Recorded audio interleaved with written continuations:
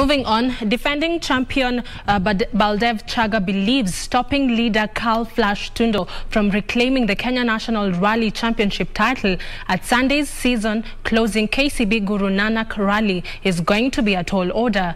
Chager has a tiny chance of defending the title he won in 2019 before COVID-19 saw the 2020 season end prematurely.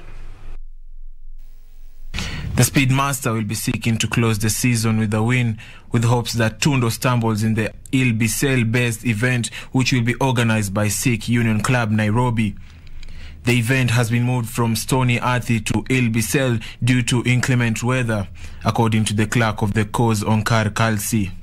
Tundo realistically only needs to finish 8th to secure the title given his 25 points advantage over Chager.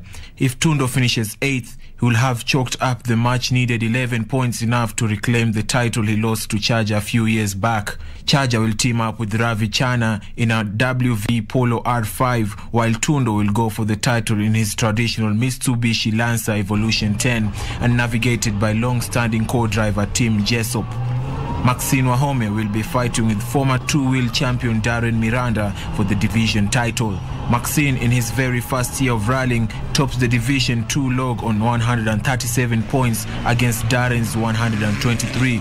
And having not graced the first two events, Maxine must enter the Guru Nanak to attain the 75% threshold for participation.